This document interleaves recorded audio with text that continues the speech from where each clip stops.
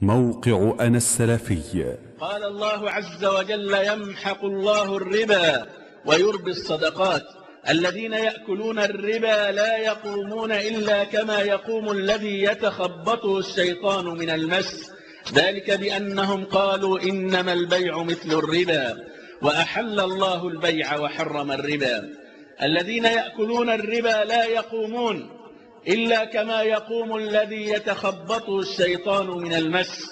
إن اقتصاد الفرد أو الأسرة أو الدولة إذا, إذا أقيم على الربا فإنها دولة متخبطة أو أسرة متخبطة أو فرد متخبط. لا يقوم إلا كما يقوم الذي يتخبطه الشيطان من المس.